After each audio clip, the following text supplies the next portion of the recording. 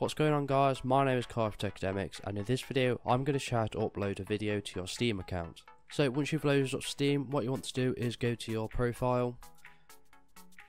And once you're in your profile, you want to go to videos.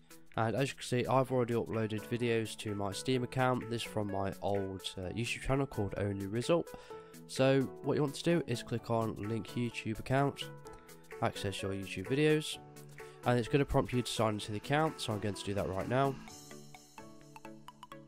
So once you've signed in, you want to select your YouTube account or your email, click allow, and then it's going to bring you to a page that looks like this.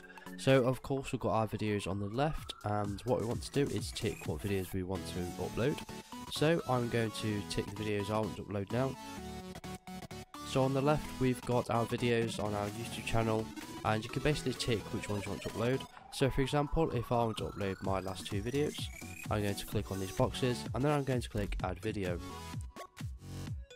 Once you've done that, it will say successfully added two videos, so when I go back and click on this tab, I have successfully added these two videos to my Steam account. And that's all you have to do to add videos to your Steam account. So please leave a like if this was helpful and subscribe to see more videos like this, and thank you for watching.